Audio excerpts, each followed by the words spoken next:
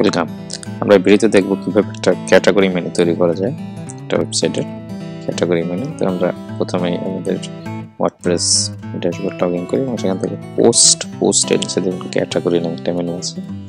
সেখানে log in করি এবং আমি একটা ক্যাটাগরি লিস্ট তৈরি করে রেখেছি আসলে এক্সেলে কতগুলো ক্যাটাগরি এটা একটা অনেক বড় সাইট এখানে প্রায় পঞ্চাশটা সাব ক্যাটাগরি থাকবে। পাঁচ ছয়টা ক্যাটাগরি থাকবে এবং আলাদা একটা প্রোডাক্ট মেনু থাকবে। তো এটা ক্যাটাগরি তৈরি করতেছি ক্যাটাগরির নাম দিলাম প্রথমে। আপনি যে নাম দেবেন, সেই নাম একটা সাব ক্যাটাগরি স্লাক ক্যাটাগরিতে প্যারেন্ট একটা অপশন থাকে চাইল্ড একটা অপশন থাকে এগুলো বিভিন্ন ক্যাটাগরির অপশন আপনি যদি দরকার হয় আপনি দিবেন। আদারওয়াইজ তার স্লাকটা এটা অটোমেটিক ক্রিয়েট হবে। যখন কোনো নাম দিয়ে কোনো একটা ক্যাটাগরি ক্রিয়েট করবেন, তখন একটা একটা স্লাক তৈরি হবে। আমি এখানে প্রায় পঞ্চাশটার মতো ক্যাটাগরি পঞ্চাশটার মতো ক্যাটাগরি তৈরি করেছি। এটাকে দেখানোর জন্য আমরা একটা ক্যাটাগরি তৈরি করলাম আর কি।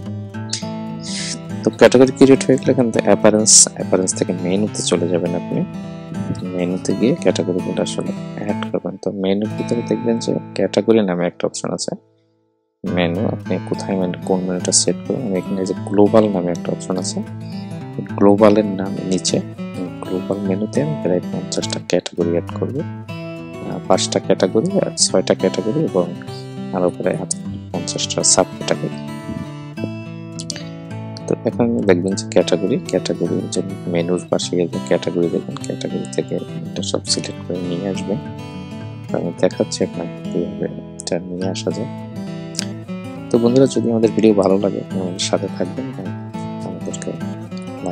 কমেন্টস করে জানাবেন। যদি কিছু জানার বা জিজ্ঞাসাও থাকে আপনি আমাদেরকে জিজ্ঞাসা করতে পারেন কমেন্টস আমরা যথাসাধ্য চেষ্টা করব আপনাকে হেল্প করার জন্য। তো, এখন আমি ক্যাটাগরিটা সেট এটা এইভাবে আছে এটা। এটা এরকম আছে আসলে ক্যাটাগরিটি এই দিলে কোনো চেঞ্জ আসলে আসে না। তাহলে দেখি আমরা আসলে ক্লিক করতে পারি। তো ক্যাটাগরিটা সিলেক্ট করে নেই। আমি আসলে কোথায় কোথায় মেনুটা সেট করতে চাচ্ছি? সেটা টিক মার্ক করে দিন, আপনি মেন মেনুতে সেট করবেন নাকি আদার মেনু ফুটার মেনু বা আদার্স কোন জায়গাতে সেট করতে চান সেটা তাকে বলে দিতে হবে। টিক মার্ক করে সেভ দেন। সেভ দিলে পর কি হয় দেখি।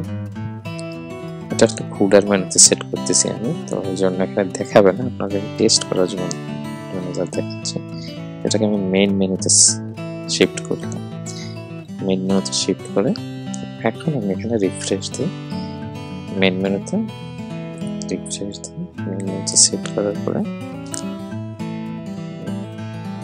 এটাকে সেভ এস মেনু করি।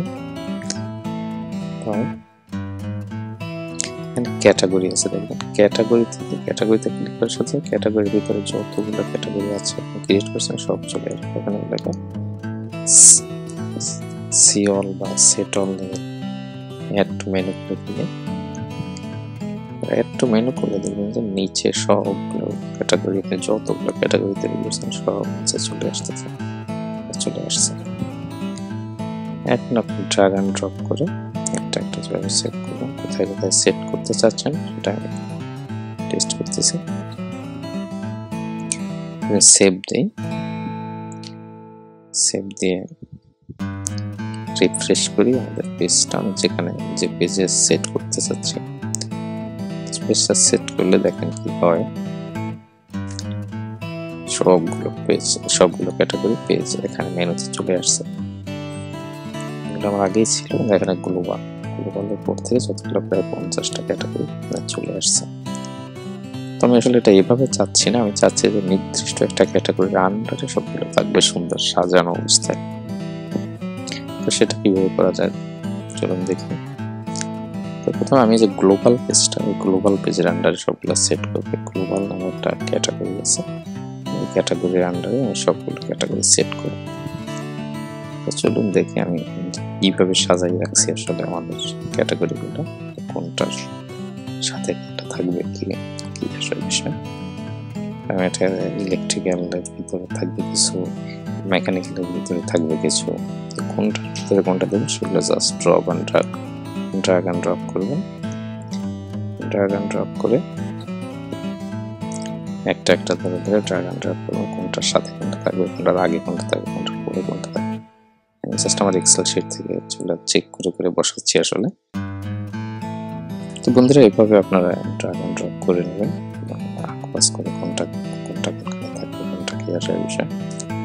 আপনারা সেট করে তো আমাদের ভিডিও দেখার জন্য ধন্যবাদ। আর যদি আমাদেরকে ভালো লাগে লাইক আপনার যদি কোনো কমেন্টস থাকে, আপনার যদি কোনো জিজ্ঞাসা থাকে, আপনি করতে পারেন।